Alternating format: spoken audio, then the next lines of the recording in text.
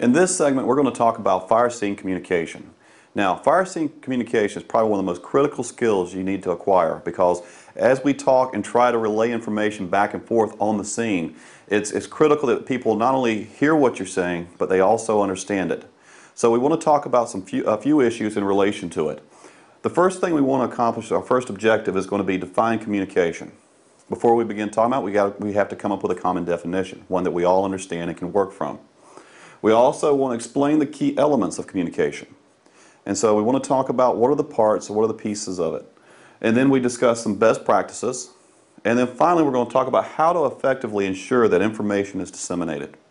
These are very critical skills on the scene because time and time again there are always issues that come up as a result of not being able to effectively communicate with each other. So this is where we want to start off. Now the question comes up, uh, why is this important? Why is this critical that we understand what, uh, what goes on on the scene and why the communication is so critical? Many after-action reports often say that communication was a breakdown, that there were issues there getting information back and forth either to crews, either to the incident commander or to other parts of the operation. So it's very important that we understand not only why communication is important, but also understand how to do, deliver it effectively. Before we begin, we, definitely want to talk about what is communication. What exactly does that mean when we talk about that? And there are several points I want to bring home with this and make sure we, we understand. First is it is a, an exchange of information. And so communication is, uh, is definitely an exchange of words, visuals, whatever the case may be, but it, you have to make sure that you have this critical point. It has to be a two-way communication. That means you have a sender, a receiver, and there's confirmation that the information is being properly disseminated. So we also so we want to make sure we understand this. It's at least two people involved. And that uh, again you have that constant confirmation back and forth, going back and forth of what is correct and what is being correctly said. Now an easy way to remember this is to take a look at this chart. We first make sure we have a sender. We also have a receiver. The information has to be transmitted to the receiver and the person begins to understand that. And how, how we confirm this is when they, they, they can receive back to us or send back to us that information.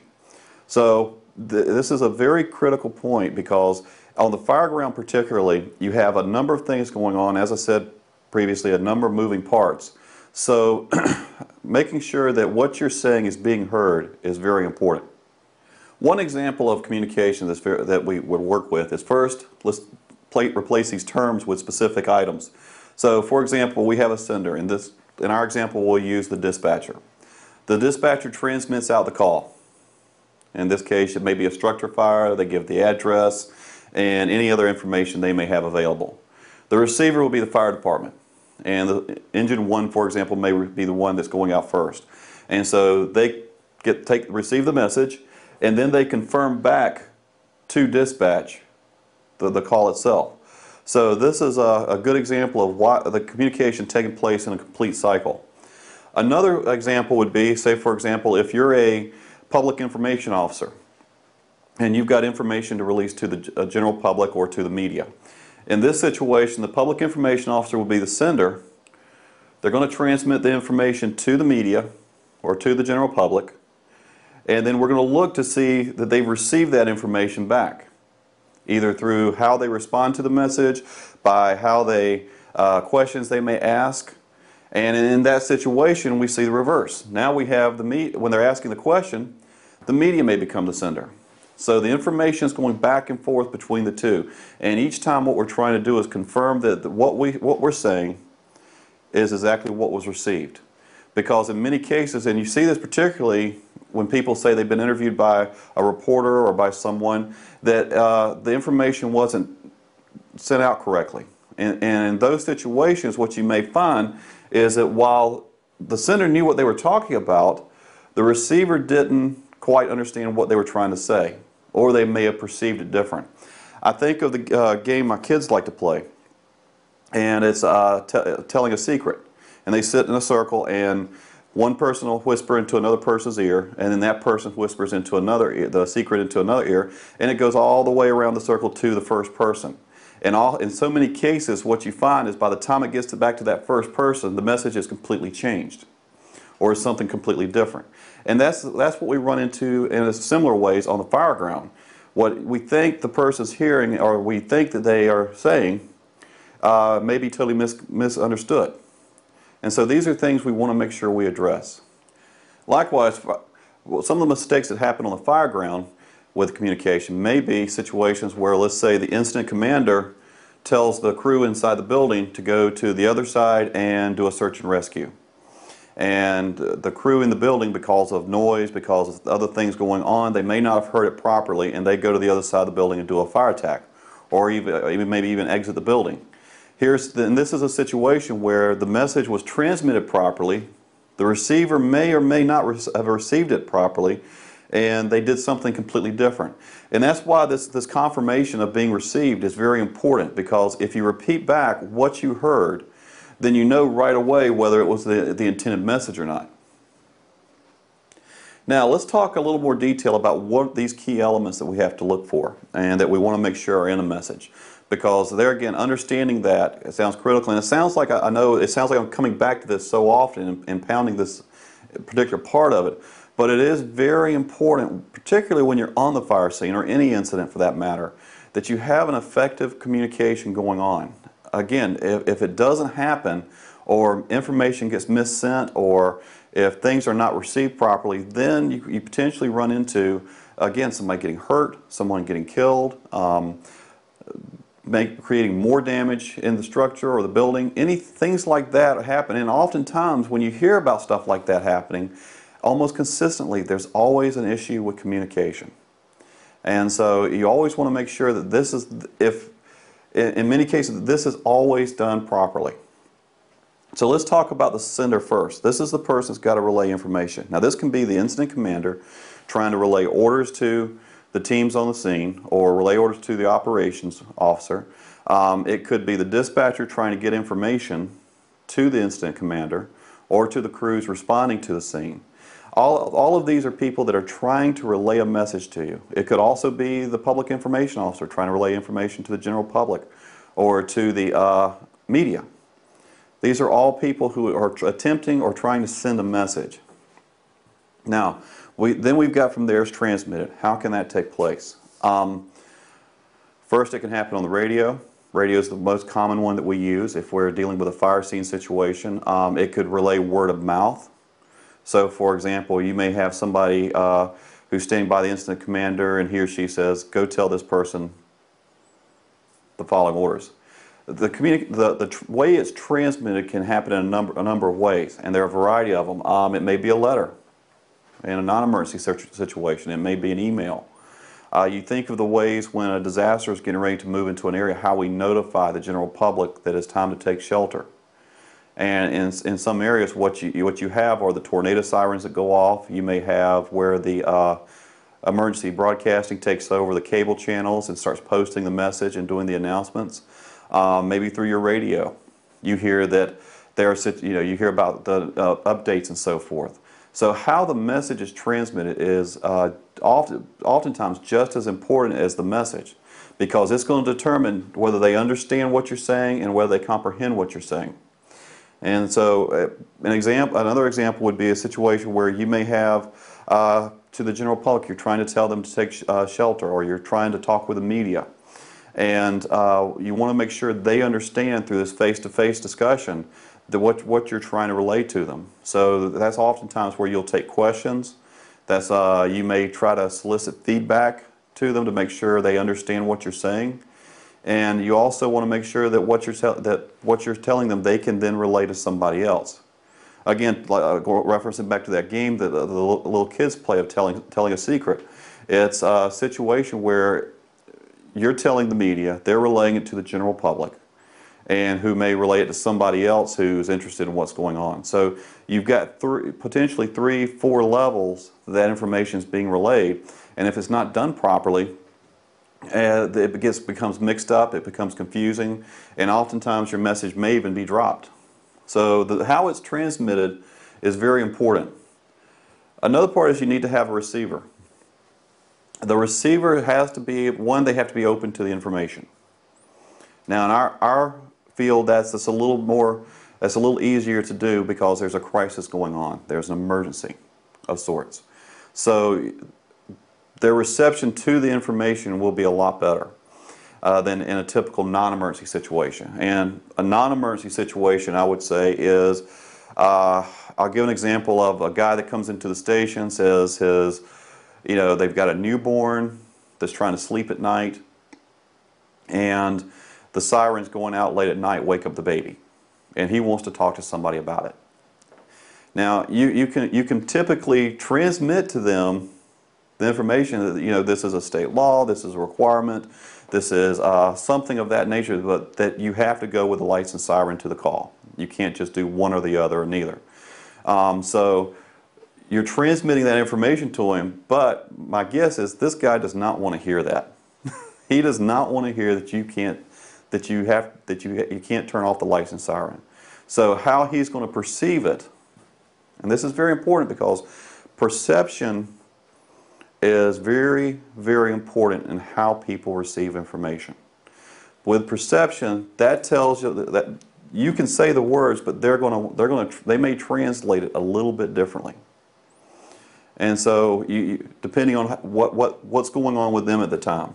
So when you, you asked, you solicit to find out if they understood what you said, you may find that the response is not what you were, what you were intending. So perception plays a big role in how the person will receive the information. Now one of the things as well along with this is you want to make sure that they understand what you said. On radio communication, it's very simple.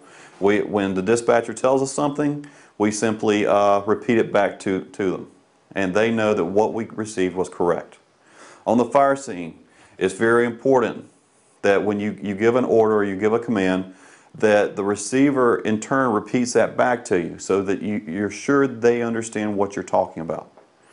And, and again, this is where a breakdown typically occurs. When the receiver doesn't tell them or repeat back what was said, there's a, there's a possibility they may not have understood. And so you kind of leave that, that, that loop here kind of open. And you don't know until they actually begin doing the task if they properly understand what's being told to them. And in these situations, not understanding what they're being told could put them in danger, could put somebody else in danger, or possibly could uh, create greater damage to the home or to the uh, structure. So we want to make sure that what's being what's what's being received is exactly what we intended. And this is where we get this. that's why we look for this confirmation. Now, in a non-emergency situation, we don't necessarily have that luxury the loop is a little bit harder to keep closed. So what happens is we have to do, way we have to ensure there's understanding is to solicit questions. So, for example, if I'm teaching a class somewhere and I've just shared some information, uh, maybe I'm teaching a class on how to, how to put on an air pack. And so what I'm going to do is, when I'm done, is I'm going to solicit questions to them.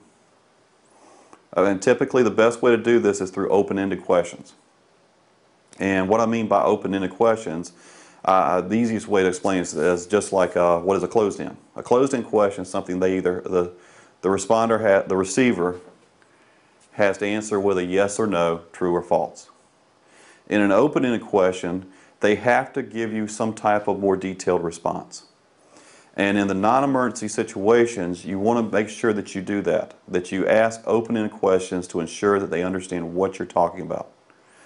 And by doing that, you can begin to get a better understanding or help correct any information that wasn't properly understood.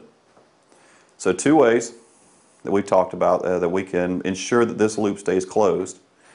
Uh, first is by repeating information, have, having, sending the message, having the receiver repeat it back to you. The second way is sending the message and then asking open-ended questions to ensure the receiver understood. And again, you, you can use, these can be used interchangeably, but you also have to weigh it out based on the situation. There are certain situations that's very critical, time sensitive, that we've got to make sure it happens, in which case we're going to drop to the just repeat it back to me. In situations where we may have a little more time or we're dealing with much more detailed information, we may go with open-ended questions. The key you don't want to put, don't want to do when sending a message is you don't want to just leave, leave closed in did, questions like, did you understand? Or do you understand? Because all you're going to get there is a yes or no answer. And getting just that yes or no doesn't really clarify for you if they completely understand what you're talking about. Let's briefly talk about here some of the concerns when this does not, this loop doesn't occur. What can happen on the fire ground? Now, there are several instances where this can happen. The first one is the receiver didn't receive the information or didn't receive it properly. And what way you determine this is that you get, you get no response. And see, this is one of the issues that makes it very critical to under, for them, the receiving person to respond back. Because several things can occur if you don't, if they don't respond back. One, they may not have heard your message. And if you think about what goes on on the fire ground and how the radio communications take place, it's a, it's a very good chance that your information may not have been heard. And so by getting that confirmation back, then you know they, they've not only heard the information, but they understood it. Getting nothing back, they very well may not have heard your message. the other situation is that if they don't respond back, you don't know if they heard it correctly or understood what you were wanting to occur as the incident commander. So while you may have told them to go to one room, one floor, if they did, don't respond back, they very likely could go to another floor not understanding what you're talking about. Another concern that occurs when the receiver doesn't re reply back that they've received the information is they could be in danger. This is one of the best ways to tell if the firefighters are in danger or if there's a situation that may require a mayday. But when you don't get that response back, and if it's consistently a policy that anytime you receive a message that you have to respond back to it, and you don't get that, then you know something could possibly be wrong, and you want to follow up and find out where the crew is and what's going on. So keeping this loop closed and always keeping the information flowing to the receiver back to the sender, it not only makes sure that information is understood, um, but it also gives you a way of tracking your crews and making sure they're safe within the building and that nothing, uh, nothing is going on or there's an emergency that needs to be addressed. The second issue is, is when you get a closed-ended response. Remember, one of the things I talked about was you don't want to ask people what uh, a question that will um, require a yes or no answer. And because when you do that, there again, you may be sending one thing. The only response you're getting back, though, is a yes or no. Did you understand? Yes or no. Now, if you think about it, do you understand is a pretty vague question. And so saying, do I understand this? Uh, yeah, I, in my mind I may receive it, may have understood it because of the way I perceived your question or your, your order, but you may have intended something completely different. And in which case, you, what, what happens is there's opportunity there for mix-ups, there's opportunity there for things to go wrong, and eventually possibly even situations where somebody could get hurt if they didn't properly understand what you're asking them to do. So we, again, another example why we need to keep this loop closed and always make sure there's a good, a good relay of information. The, set, the third one is a rushed response. Somebody just rapidly hears what you're, you're trying to uh, tell them to do and then they take off and go. And this is actually very common on the fire ground. You may have someone who keys up the radio, they got the order, thanks, and off they go because they're in a hurry, they're trying to get the fire knocked down, they're trying to get things uh, back in order. They're trying to get things, you know, get, bring stabilization to the scene. And so they just kind of rush response that, yeah, we got it. Well, and that sounds great. You know they've, you know they've received it. Did they understand it? You have, you, you have no idea without actually following that up with, can you tell me what I said? Can you repeat back to me? Confirm what, conf can you confirm my message? All of these are ways that you want to make sure that, and particularly on the fire ground, this is where it's very critical, is that once they receive that information, did they understand it? Did they comprehend what you're telling them? And you may find in some situations that just simply repeating it again, you may have to try to think of a different way to word it, a different way to phrase things so that they understand what you're trying to get them to do. So all of these are concerns that do occur, have occurred on the fire ground, that do occur still. And in most, most cases, what you will find is it is a result of a breakdown in communication. And oftentimes, you, you hear about accidents that occur on the fire scene. Somebody got injured, somebody got hurt, something like that. In, in a number of cases, uh, many of them, what you will find is at some point in the process, some point in the response, the communication broke down. Now, that could be a breakdown where they didn't understand what was said.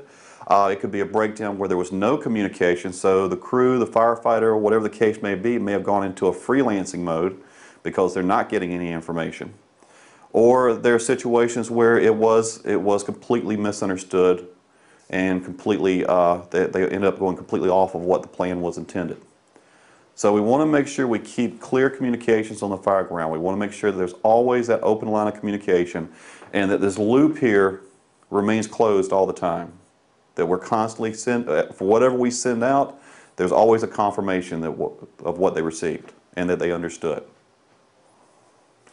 Now, with a basic understanding here of what is a transmission, what, are, what is a message, and how does it work, the, the messaging process work, we now want to talk about some guidelines, some practices for when you're actually talking on the radio, uh, when you're trying to communicate on the fire ground and so forth.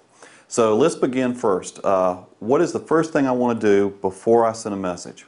One, I want to make sure there's a clear airway to talk on. So the, and this is a mistake a lot of folks make. They get so excited, they get on the scene, they, they want, they've got a message to relay back, and they'll key up the mic and start talking. Now, one of the problems with that particularly, and this does this is a very common problem, is that when that other people are on the scene, they're also trying to communicate. There's uh, traffic coming from dispatch to the incident commander. Information is going flowing around, and what you'll find will happen is when you key up the mic to talk, you walk all over everybody else that's already on the radio. Um, the same situation could occur that somebody could do that to you. So the very first thing we want to do before we try to relay information over the radio is we want to make sure that we have a clear channel. Now, if you've got a lot of information or you're going to have some ongoing information, a good tip to do is to make sure that contact dispatch or contact the incident commander and ask if you can get a separate channel, if that's available. This is one way to kind of take, to remove some of the noise and background that's going on from all the other folks trying to communicate.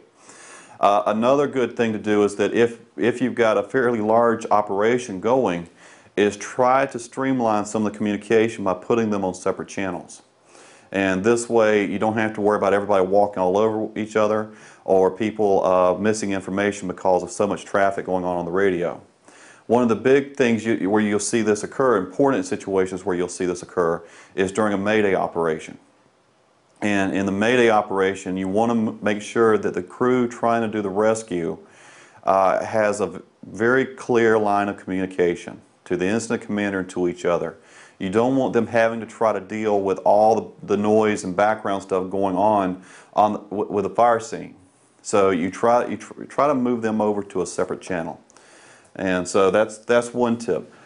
The other thing is don't just blurt out what you're going to say. Take a second, take a few seconds or a few minutes and collect your thoughts. What are you trying to broadcast to the other people?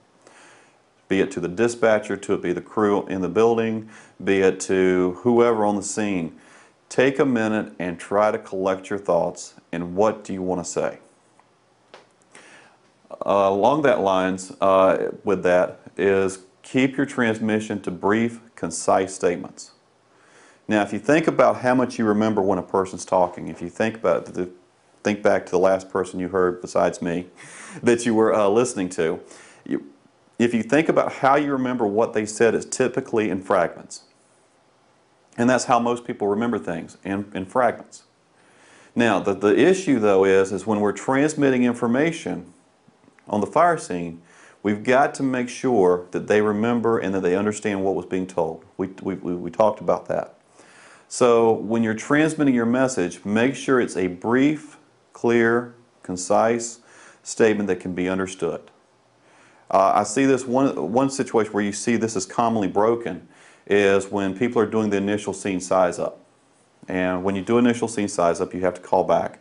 Engine 1's on scene. We have a single story residential structure, nothing showing. Engine 1 will be command. The, the issue with that is what I typically see is when people are giving that description, You'll see situations like engine one on scene, we have a single story residential structure, we have nothing showing, it has four walls, it's purple, black roof, stone masonry, long driveway, you, you, you get the idea, it becomes a very, very long message. And what you will see happen is after about the first phrase or two, anybody listening to that broadcast basically just kind of tunes out, be it mentally or uh, whatever. Here's a, here's a thing to kind of keep in the back of your mind. The average person takes a mind journey about every eight seconds.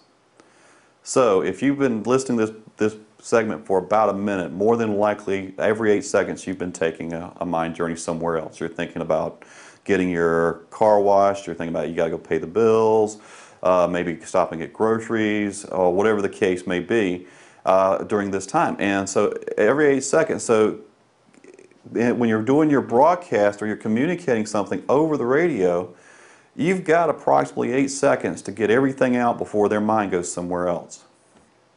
And so you want to keep it clear, keep it concise, and keep it simple. Keep it very simple. Don't get too tied up in the different uh, components of it. The, the next thing you want to do is you want to wait for confirmation from the other party.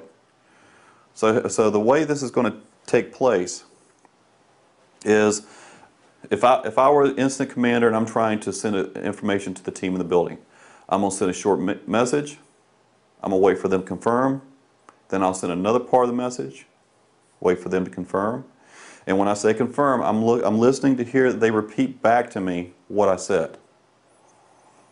And so if you get into long, detailed discussions, the likelihood of them remembering it's going to, all of it's going to be very slim. So what I, I may say is I, I need you to go in, uh, incident command to interior team. I need you to go to the C side of the building. And what I, I may throw in something in there as well to let them know there's more information coming. So I may say break. So engine one, I mean uh, interior, interior team, go to the uh, C side of the building, break. Then I'm going to wait for them to respond back and say, interior team uh, to incident command, confirm, go to the C side of the building with break. I need you to do uh, uh, search, search in the front room or the room on the C side of the building and confirm there are no more victims. They'll respond back, go to the, do a search and rescue in the, room at the C side of the building, confirm there are no victims. Now by doing that, what, we, what I've done is I've now been able to send them multiple pieces of information. I've still kept it in fragments so that it's easier for them to retain. And then I've, I, in, each, in each situation, each part of it, I've waited for them to confirm back and that they understand what, what I'm asking them to do. And if you take this step, it, it, sounds, it may sound very elementary. And you're thinking, oh, we're all adults. We don't need to talk to each other like that. Consider the circumstances that you're talking to people under. This is not two, two folks sitting around at the bar or at the kitchen table or at the uh, uh, coffee shop having conversation. This is a, a high, tense, very, uh, very rough situation that you're dealing with. This is a situation where there's multiple things going on, everything's in rapid mode, and the ability for them to comprehend information is going to be harder. Couple that with the fact that they're, they're wearing gear, they're in an air pack, and the communication is a little bit harder. They've got a flash hood on to cover their ears, things like that. And so even though to you it sounds like you're talking normally, and it may sound clear if you just listen to it on the microphone, when you add those other disturbances, such as bells going off, having an air mask on, those type things, then it becomes a lot harder to understand. And it becomes much more complex for them to try to figure out what you're saying. And so you want to get that confirmation back. Now, what happens if I don't, if, if what they send back is incorrect? Then you're going to want to immediately notify them that that's the case. So you may come back and say, uh, that's incorrect, please, and then, then you come back and tell them what the correct information is. So if they, they confirm go to the B side of the building, I'm going to come back. That's incorrect. Please go to the C, cat side of the building. Maybe what they, you know, and it could be any reasons, any number of reasons why they didn't understand. It was too noisy, they couldn't hear well. Maybe they thought instead of C, they heard the letter B. And so there are a number of reasons of why things can break down, but you certainly want to make sure, and that's something I would also recommend with this, is that if you're using letters, C side of the building, B side of the building, uh, D side, if you listen how those sound, the sounds are very close. So if you're using letters, try to associate a word with it that'll help make, make, make it a little bit clearer. So for example, if I say B side of the building, I'm going to say B boy, C cat, D dog. Those are things that help them understand better what letter I'm using. Because in many cases, again, considering as well how muffled everything sounds from wearing the air pack and wearing the things like that, you, you're going to find that they're going to be misunderstanding what you're saying in many cases or in some cases. So we always want to get that confirmation back of what they heard. And if it's incorrect, we want to go ahead, immediately notify them that it's incorrect, and provide them the correct information. One of the questions that typically comes up is how do I begin practicing and how do I improve my speaking skills on the radio and on the fire scene? And this is actually a really good question. And unfortunately, not many really take advantage of this, but there are a number of opportunities where you can improve how you present and how you speak on the fire ground. And I, I say this is important because if you think about it, if you're an instructor teaching a class, if you're leading a meeting, you're going to want to make sure that you have some basic level presentation skills. The same thing applies on the fire scene when talking on the radio and when trying to relay commands. That you want that same level of proficiency to be able to do your job effectively. And I, I, I would compare it to any other tool you would use on the fire ground. Communication is a tool, just like your air pack, just like a Halligan bar, just like your hose line. All of those are things that you would not send someone into a building that didn't know how to use them. And in the same context, when speaking, it's a tool that we use to communicate information back and forth. We wouldn't want to send out wrong information or intentionally give people bad information. But in a sense, when we're not practicing this particular skill and we're not keeping this skill up, then we could just as likely do that and send them into a, a bad situation. So we want to make sure these skills are definitely kept up to speed, that we're doing these well and doing things properly. Uh, the, the first way you can do this, and I would suggest, is that begin listening to the uh, radio when other departments are going out, uh, maybe on other calls that you're not going to within your department. Listen to how they communicate. What goes well, what doesn't go so well, and weigh those out in relation to the communication and that's going on and see if, if there are things that they're doing that work really well that you could in, integrate into the way you speak on the radio um, maybe there's some things they didn't do so well. And in those situations, you may want to learn from that to not use those skills, that particular skill. So listening to the radio um, and listening to the calls that are going on is a great way to learn how to improve how you communicate.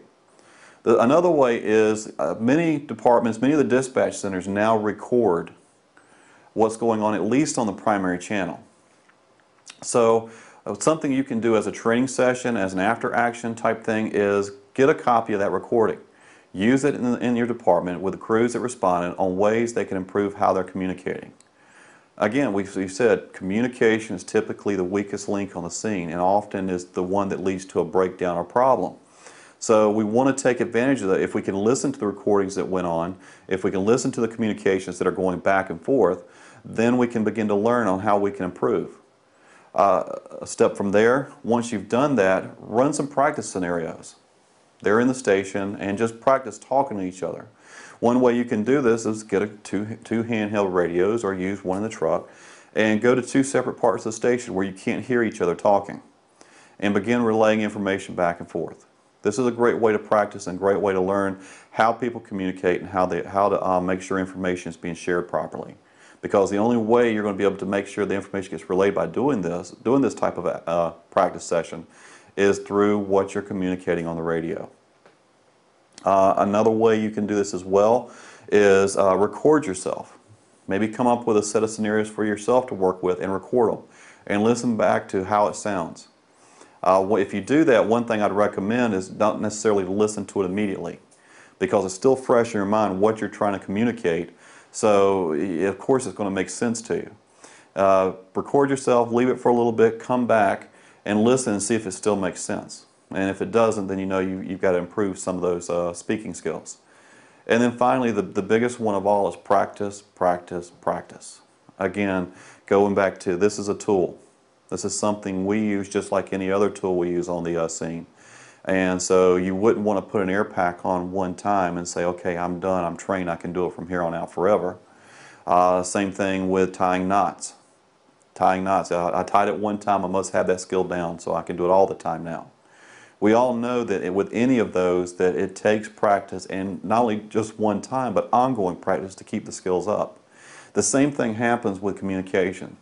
Anytime we don't keep those skills up, we don't continue to improve the way we speak and the, improve the way we communicate on the fire ground, we could uh, we tend to lose them. And just like tying a knots, if you don't practice knots for a year, you're not going to, you find that your skill level drops considerably. And so the more we practice, the more we keep doing this over and over again, and the more we keep working on those communication skills, we'll see things improve. And uh, definitely this is a great way to ensure that what we're communicating around and what we're talking back talking about on the scene is understood and can be responded to. What we want to talk about now is effectively ensuring that information is disseminated. Now, we're going, to, we're going to step out a little bit broader rather than just in the fire scene because this is applicable to many areas of the fire service. But I, I will stay focused in that particular area. The first point I want to bring up when I talk about how to effectively disseminate information is stick to the basics. Now, and this is sometimes, this is a mistake a lot of people make is they try to get so detailed, they try to draw in so much information into their statement, into their broadcast, whatever the case may be, that it gets lost. The actual message, the intent gets lost. So this is why I say let's step back, let's look at the basics, and we answer the questions of the who, what, how, when, and why. Those are the things, if we focus on when we're doing our communication, and what we're sending out, we'll find that you'll find that things become a lot simpler, that they become more understandable to the other party, and it's a lot easier to break down into sentence fragments what we're talking about. Well, maybe let's take a look at this from the standpoint of an example. If I were, if I have a team inside the building, a crew in there doing fireground opera, uh, doing operations, and I need to relay a message to them, I want them to move to the other side of the building and begin operations there. All right, the first thing I want to do, and, and actually a, a, neat little way to do this is to maybe just create a little, uh, you can print it out of your, off your computer to keep in your vehicle, keep on the truck, or the case, but basically like a little cheat sheet so you know what to, to send out. The, the first thing is who. Who do I want to send this message to? In this case, our, based on our example, we're wanting to send it to the team, the team inside the building. All right. The second question, what do I want them to do? I want them to move to the other side of the building, in which case we may just say it's the C side of the building to stay consistent. So we've got the who answered, the what answered, how. In this case, we may need to tell them how. We need them to exit the building, go around to the C side, and enter, the, enter from the exterior. And so we've got the, that, that information may be relevant and may be necessary. So we want to make sure that question is answered. Uh, when? Based on our example earlier, we saw our, comments earlier, we said when is one of the questions. And in this case, we may say immediately. There may be circumstances where you don't need them to move to the other side of the building until later. But we need to know that when and when it's going to take and how we want it, when it's going to take place. And then finally, why? Do we want them? There has to be a reason we, that I want them to move over there. Uh, maybe it's to do search and rescue. So our why questions so they can begin search and rescue on the room adjacent to the C side of the building. So we, by answering those basic five questions, we, we have our message that we, we need to relay, and it's very simple, very easy for them to understand, and it becomes a, a, a situation where we don't have to worry about trying to explain ourselves. So we say, uh, interior team, I need you to move to the uh, C side of the building. Uh, by exiting the front and going entering through the exterior uh, immediately so you can begin search and rescue in the room on the C side of the building. To understand this even further, let's take a situation where it may happen incorrectly. And so, for example, we didn't, didn't address one of those questions. And so let's say we, we don't address the how. So for example, we have uh, the who is the interior team. We need you to um, go to the C side of the building immediately to do search and rescue. We didn't tell them how. Now that in, in some cases that may work fine. There may not be an issue. They may be able to go whichever by whatever means uh, are necessary. But let's say there's a collapsed floor on their path to the C side of the building from the interior. Now, if we, we may know that. It may have been broadcast over the radio, but the interior team may not have heard that. Again, we have, we have a lot of chatter going on and they're wearing a lot of gear, so the likelihood of them hearing that may, may not be as well as we think. So, by not, us not relaying that piece of the information, we could potentially put them in harm's way or put them in a situation where they get in trouble because of a little snippet we left out. And so eh, we want to make sure that we keep all our bases covered. And again, taking a clipboard and maybe some a paper, just make sure you've got all the information you need to relay to them. And it makes it a lot simpler. And then you, at that point, you're just referencing your sheet. The next point we want to talk about is how to deliver that message as well. Keep your message brief and concise. Now that may sound contradictory to the previous point of making sure you cover all your information, but the two actually can work together. Uh, and just because you have a lot of information to relay doesn't mean you have to relay it all at one time. So it's very it's much easier to break it down into clear, simple, concise points. And that's exactly the way to think of it. Is uh, just very clear, simple, concise points. Keep your statements short, as short as possible. Don't don't intentionally abbreviate them down, but make sure that you're not relaying any more information than's necessary. And this is for a number of reasons. One, as I said earlier, it mentally and the way we absorb information, long statements, extended out statements and things like that are very hard to understand and very hard to remember, particularly when you're dealing in a crisis situation and hearing is a, a bit of a problem. Uh, the other part is, is there are also a number of other crews, teams, individuals that will also be talking more than likely on the same channel you're using. And in those situations, if you're spending a lot of time talking, they're not able to relay information. And so it, it can create bottlenecks for other parts of the operation. So keep them simple, make sure there's something that can be understood, and keep, them keep your message short. And then you'll also find it'll be easier for them to confirm back that they heard what you said. Let's take an example here of looking at the same transmission delivered two different ways and look at how keeping it clear and concise is much easier than trying to give as much information as possible uh, on the radio. The first one I'll take is, uh, I'll show you is when we give too much information. So I'm the incident commander, I'm transmitting to the team there in the building and my comment uh, comes back to the incident command to interior team leader. Interior team leader responds with go ahead. So I then respond back with I need you to take your uh, exit the building, take the hose line. Also Jim and Bob need to come with you. Yourself, make sure any tools you've got need to come out as well. And you can kind of see as we're as I'm talking, eventually mentally he's just going to shut off and all he's going to hear is we need to get out of the building. We need to exit the building. And that, that comes from the fact that we only take things in small snippets. We don't take big, long sentences into memory very well. A second approach would be to say, um, come back to say incident command to interior team leader. He responds, go ahead. I said, I need your team and all of your equipment to, to exit the building. Very much simpler, much shorter, and much more concise. It accomplishes the same message, it says the same thing, and, but it's a lot shorter and a lot easier to remember. As you can see from this, the, the definite lesson learned here is that it, it needs to be tr trained on and it needs to be learned in ongoing practice because we need to make sure that these are skills we keep up and that we don't lose, otherwise it can create problems for us as we get onto the fire scene.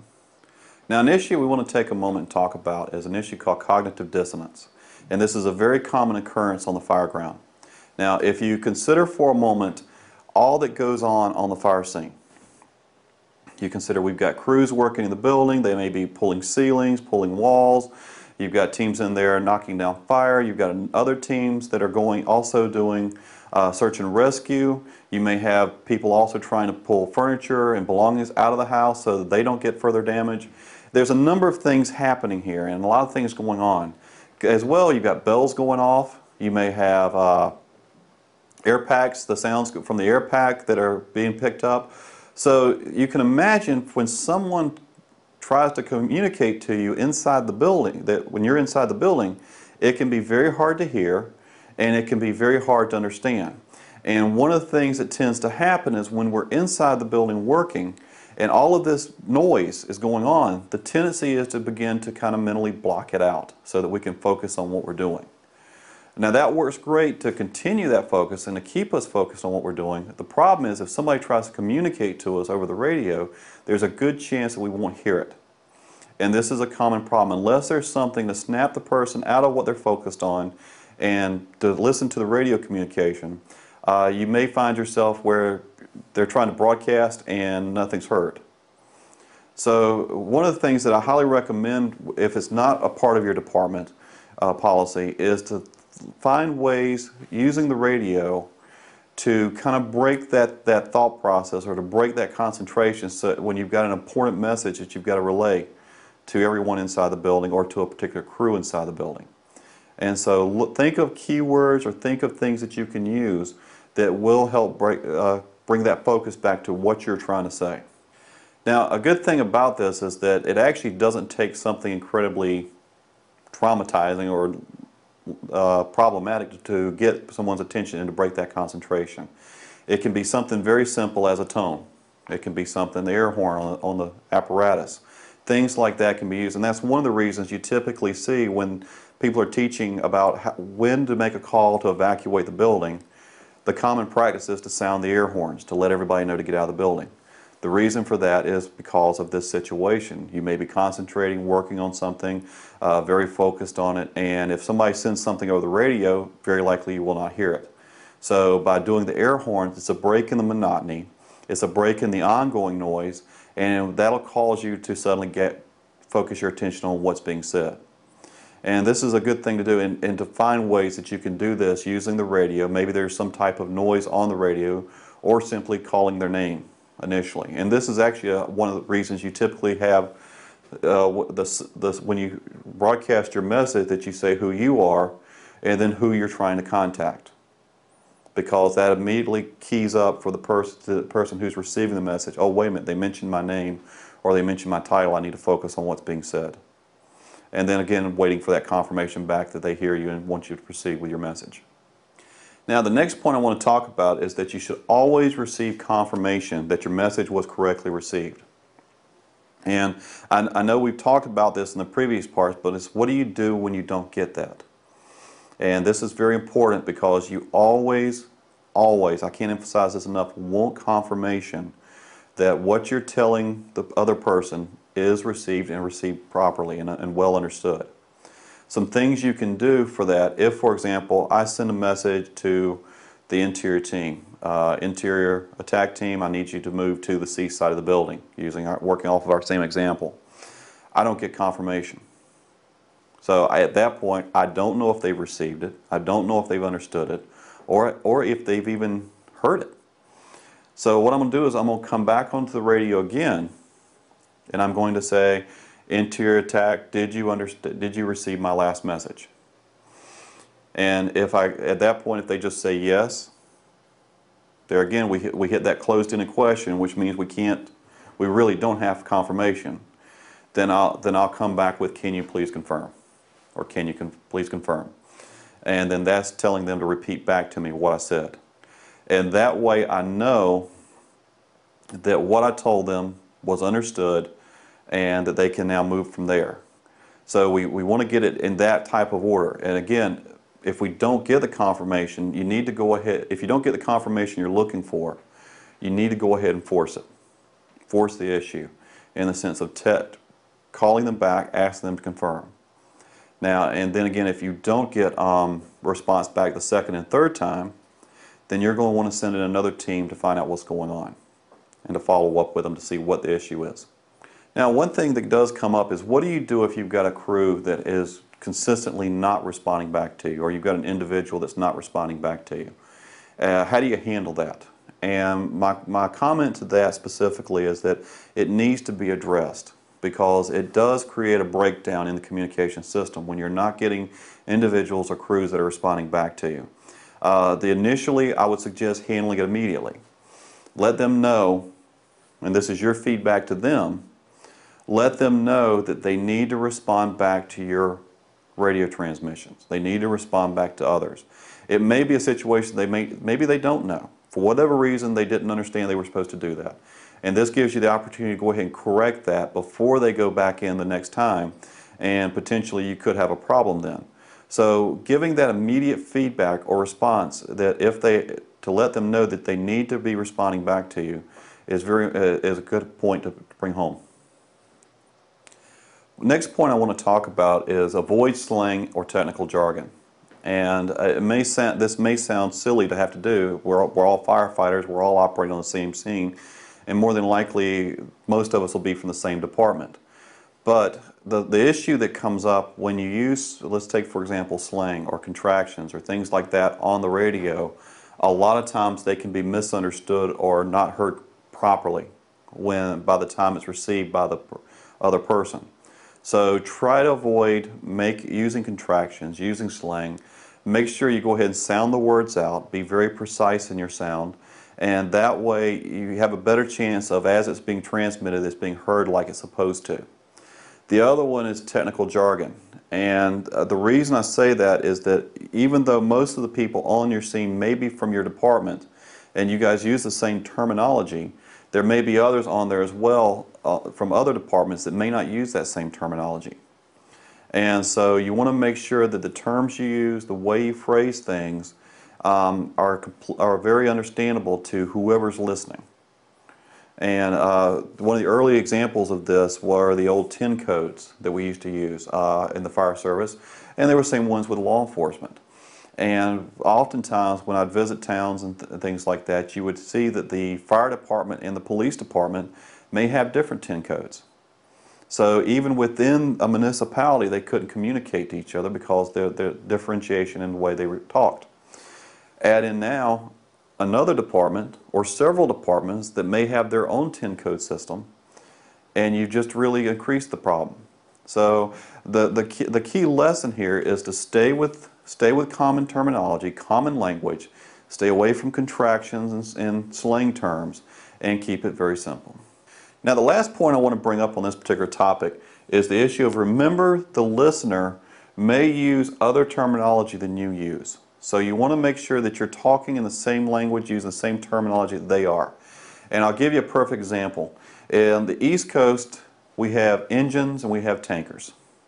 Engine is the apparatus that goes to the scene, they pull the hose, they fight the fire using the engine, uh, in most cases. Uh, as well, the tanker is what provides a water supply if we're dealing in a rural environment. So we want th those are two. Now out west, you, you typically hear less of the use of the term engine and more use of pumper. And the pumper is the apparatus that goes to the scene and pull hose and fights the fire. From the uh, standpoint as well, you also tend to hear water tender instead of tanker. If I were out west and I called for a tanker, I'm going to get an airplane coming with a lot of water that they've got to dump before they can land again. So we want to make sure in those situations, and as we're dealing with different agencies and different departments, that we're all operating on the same terminology and that we all have a consistent way of understanding each other. Now to conclude with this segment, I want to emphasize a very important point here, and that is communication as we've talked about throughout this segment, is very, very important and very critical to the incident success. As I've said before, anytime you see a breakdown or something that occurs that goes wrong on the fire scene, typically ties back to some problem in the communication process. So it's everyone's responsibility in the department to ensure that they understand and properly are able to communicate with other people. Uh, from the firefighter level, it's ensuring that you understand what's required of you when you're speaking on the radio. It's understanding that you can speak appropriately, that you speak with the consistency that we talked about here. From the officer up and other levels of management within the fire department, it's important to understand that all of your firefighters are going to look to you to look for that standardization. So your role in this is not only to work on the speaking skills, but to establish the standardization within your department. How do you, what do you expect from people when they respond to a call? What do you expect when they arrive to get when they arrive on scene? What type of communications do you anticipate throughout the incident? How do you expect people to talk to each other over the radio? All of these issues are fall in the uh, area of etiquette on the radio, and it's up to you as the chief's officer and the management level people to ensure that that's established and enforced so that you have that consistency.